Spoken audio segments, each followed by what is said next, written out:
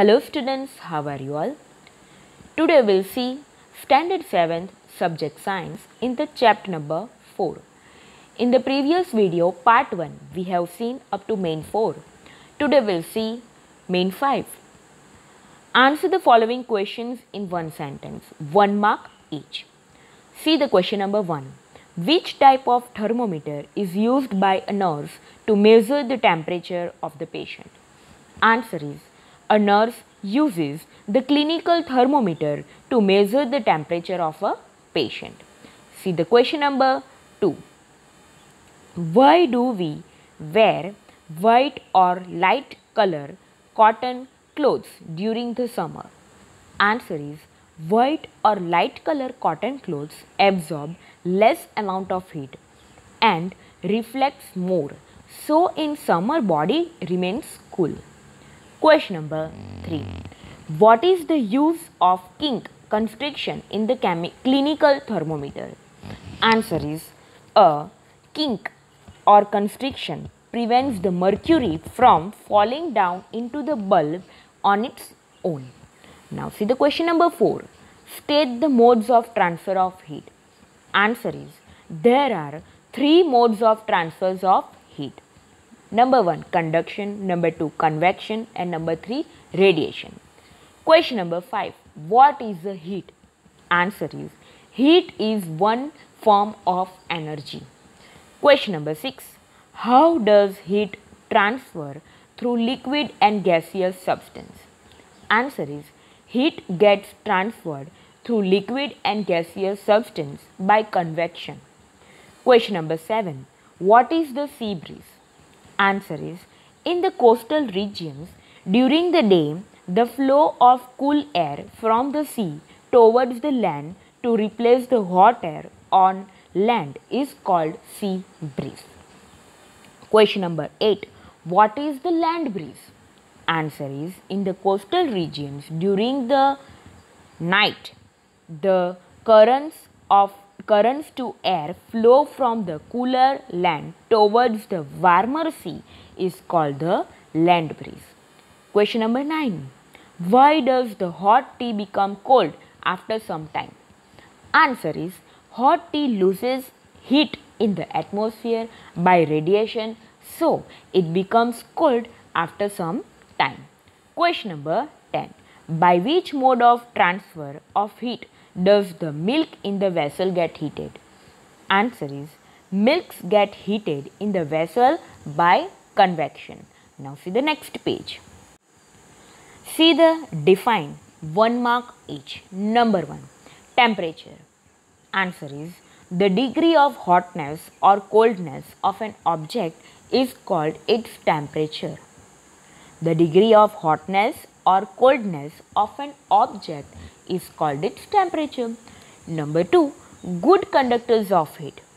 C. Answer is the materials which allow heat to pass through them easily and speedily are called good conductors of heat. Number 3. Bad conductors of heat. Answer is the materials which do not allow the materials which do not allow heat to pass through them easily are bad conductors of heat. Now see main 7. Answer the following questions in a short 2 marks each. Each question carry 2 marks. See the question number 1. Discuss why wearing more layers of clothing during winter keeps warmer than wearing just one thick piece of clothing? Answer is air is a bad conductor of heat.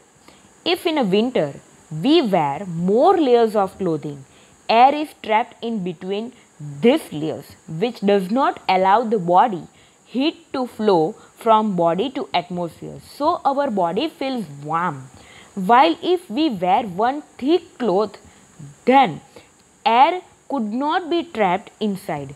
Hence, it prevents only less amount of heat to flow from body to atmosphere. So, wearing more layers of clothing during winter keeps us warmer than wearing just one thick piece of clothing. See the question number 2. In places of hot climate, it is advisable that the outer walls of ho home be painted white. Explain. Answer is in hot climate regions, outer walls of houses get heated by radiation. In hot climate regions, outer walls of houses get heated by radiation. If outer walls of houses are painted white, the walls absorb less amount of heat through radiation and reflects more heat. As a result, people residing in these houses feel less hot. Now see the next page. Question number 3. Digital thermometer is better than mercury thermometer. Explain. Answer is Digital thermometer is an electronic thermometer which is made using modern technology, not mercury or alcohol. It gives fast result compared with mercury thermometer. It means we don't have to wait till hot liquid to raise up. The result obtained from digital thermometer is better than mercury thermometer. Now see the question number 4. Which precautions should be observed while using a clinical thermometer? Answer is following precautions must be taken while using a clinical thermometer. Number 1 Always wash the thermometer with an antiseptic solution before and after use. Number 2. Hold it firmly from the opposite end of the mercury side and give it a few jerks to bring the level of mercury below 35 degrees Celsius. Number 3. Do not hold the thermometer by the bulb. See the question number 5. Write the procedure of measuring your body temperature with the help of clinical thermometer. Answer is on a clinical thermometer, note the temperature difference indicated between two big marks. Also note the number of divisions between these marks. Now wash the clinical thermometer with an antiseptic solution. Next point, hold it firmly and give it few jerks to bring the level of mercury below 35 degrees Celsius. Next point, place the bulb of the thermometer under your tongue for 1 minute. Next point, after 1 minute, take out the thermometer from your mouth and note the reading which is temperature of your body. Now see question number 6. What are the precautions needed while measuring the temperature of a substance using the laboratory thermometer? Answer is the thermometer should be kept upright, not tilted. Next point is bulb should be surrounded from all sides by the substance of which the temperature is to be measured. Next point, the temperature must be read when the thermometer is in contact with the substance. Next point, the bulb should not touch the surface of the container. Of the container. Here the container is can't be readed, but it's a container. Now see the next page.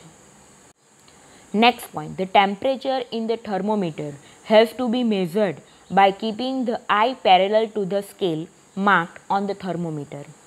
See the question number 7.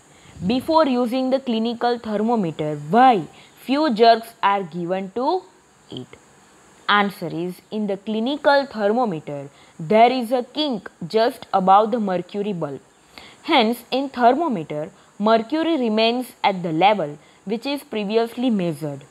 Next point is now to measure the new temperature, the mercury must be brought down below 35 degrees Celsius so that actual temperature can be measured. For this purpose, few jerks are given to the thermometer. Question number 8.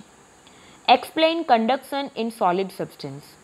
Answer is the process by which heat is transferred from hotter end to the colder end of the solid means metal is called conduction.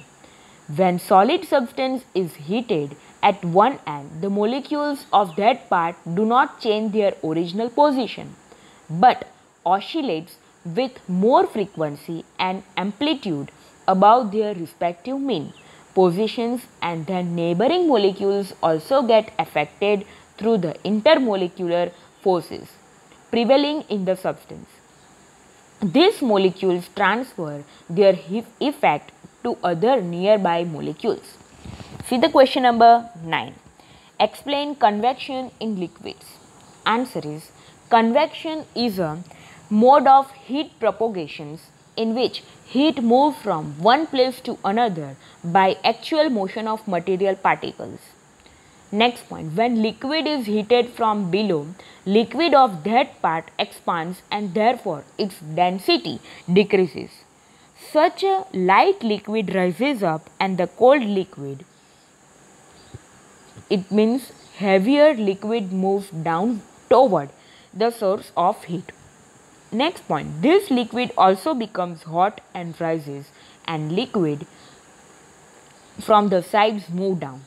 This process continues till the whole liquid gets heated. Now we will see the main 8 in the next video part 3. Okay bye. Stay safe, stay healthy.